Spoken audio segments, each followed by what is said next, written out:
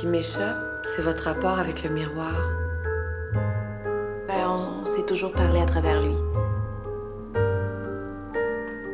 Pour se dire la vérité, je veux dire.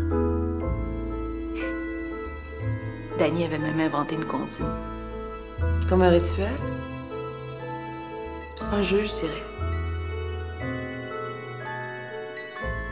Le regard était moins direct, je pense. Un jeu de petite fille, c'est tout. Un jeu.